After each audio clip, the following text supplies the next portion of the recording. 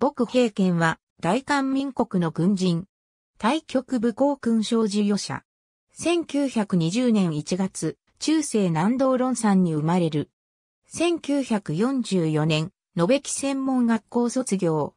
学徒出陣して、福知山予備士官学校卒業、日本陸軍少尉。1946年1月、軍事英語学校卒業、2位少尉。リータス業少尉、総高志山少尉、白南県少尉とアメリカ人少佐と共に、第5連隊の創設に任じ、中隊副官。同年3月に、白前中尉が大隊長兼英中隊長に赴任すると、僕は大隊副官となった。1946年9月、高陵の第8連隊に派遣され、同連隊の B 中隊長、第3大隊長を歴任。1947年、第4連隊副連隊長。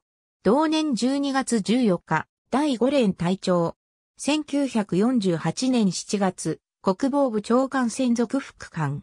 1950年6月、第5師団参謀長。同年7月7日、第1軍団軍需参謀。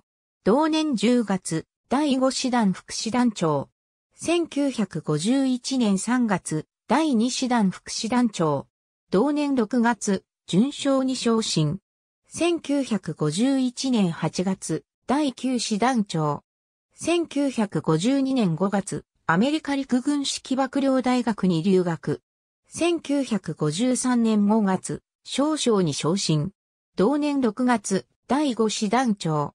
1954年3月、陸軍士官学校校長。1955年10月、第1管区司令官。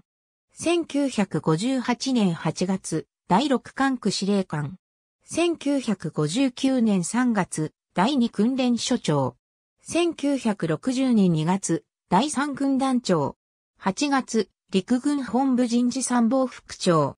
11月、戦闘陛下教育基地司令官。1961年7月、予備役編入後、国防部長官。1963年3月、牧世紀の民政参加に反対して国防部長官を辞任。1965年、日韓基本条約批准に反対する予備役将軍11名の署名に参加したため、拘束される。1970年、大韓中石膏業社長。ありがとうございます。